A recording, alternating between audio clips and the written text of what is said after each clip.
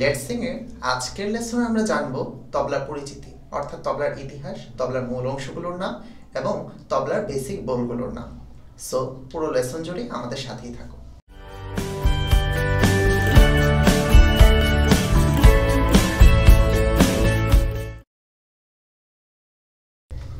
প্রথমে জেনে নিই তবলার উৎপত্তি নিয়ে।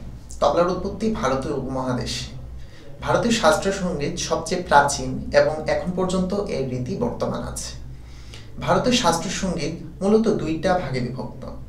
এক হলো রাগ, আরেকটা হলো গিয়ে তাল। রাগ হলো গিয়ে মূলত সুর, আর তাল হলো ছন্দ, যেটার মূল কাজ তবলা দিয়ে করা হয়। এখন আমরা তবলার বিভিন্ন অংশের নাম সম্পর্কে জেনে নিব।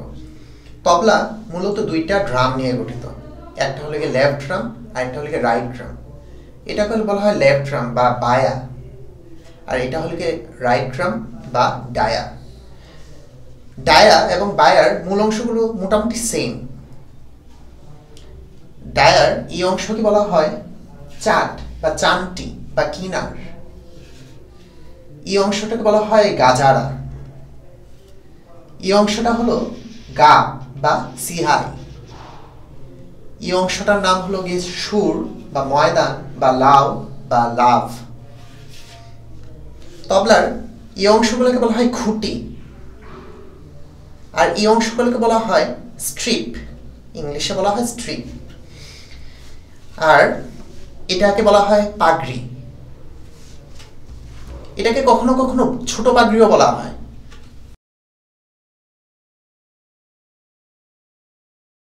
এখন আমরা তবলা নিয়ে কীভাবে বসতে হয় সেটা আমরা জেনে নিব। তবলা বসার উপর তবলার বাজানোটা অনেকাংশে নির্ভর করে। সেজন্য তবলাটা স্বাভাবিক পজিশন থেকে কিছুটা হেলে দুইটা দুইটা মুখ একদিকে একদিকে করে রাখা হয়। এভাবে অনেকটা কমফোর্ট ফিল হয় বাজানো, বাজানোর সময়। এখন আমরা জানব তবলা কীভাবে কেয়ার করতে হয়। তবলা খুবই খুবই সেন্সিটিভ একটা যন্ত্র। যেখানে খুবই কেয়ার করতে হয় কারণ এটা হলে গিয়ে চামড়া দিয়ে বানানো। এটা মানে হালকা হিউমিডিটি এটার উপর ভালোই এফেক্ট পড়তে পারে। সেজন্য এটা নিয়মিত রোদে দেওয়া লাগে। নিয়মিত হালকা রোদে, বেশি রোদে না, হালকা রোদে দিয়ে হালকা রোদে দিয়ে যাতে মানে ফাঙ্গাস অ্যাটাক না করতে পারে, সে সেভাবে এটা যত্ন করতে হবে। দুইটার ক্ষেত্রে এটা প্রযোজ্য এবং এই যে খুঁটিগুলা, এই খুঁটিগুলা সবসময় বাজানোর পর উঠিয়ে রাখতে হবে। এই খুঁটিগুলো এইভাবে রাখলে তবলা ড্যাম্প হয়ে যাবে।